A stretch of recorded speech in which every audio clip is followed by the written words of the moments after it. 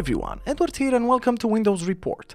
And in this video I will show you what to do when Windows 11 is not recognizing USB devices. Before we start with showcasing a few solutions, please keep in mind that you can try plugging the storage drive into different USB ports to make sure it's not a hardware issue.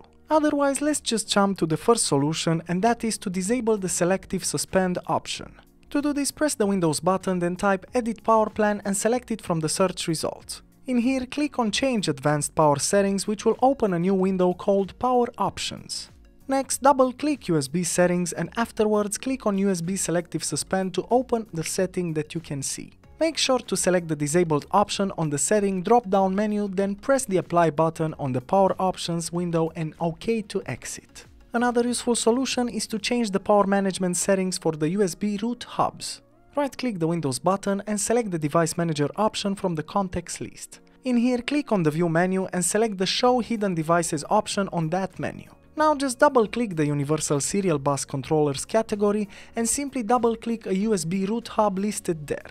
In the following window, select the Power Management tab and make sure to uncheck the Allow this computer to turn off this device to save power checkbox to deselect that option.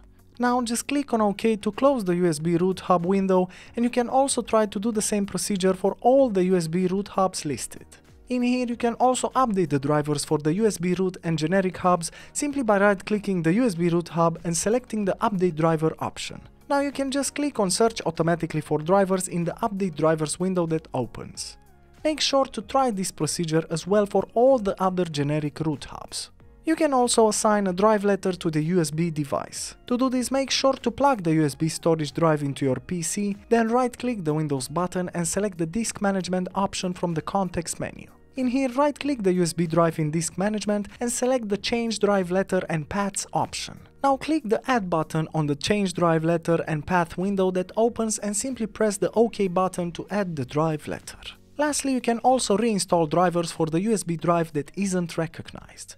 Make sure that your USB drive is inserted in your desktop or laptop, then right-click the Windows button and select Device Manager from the context list. In here, double-click disk drives to extend it and then right-click the problematic USB drive to select the Uninstall Device option. Afterwards, just unplug your USB device from the PC, wait about 1 or 2 minutes, then connect the USB drive with your PC again. And that's it. Plenty of options to consider. As usual, for more information and details, you can check the article in the description below.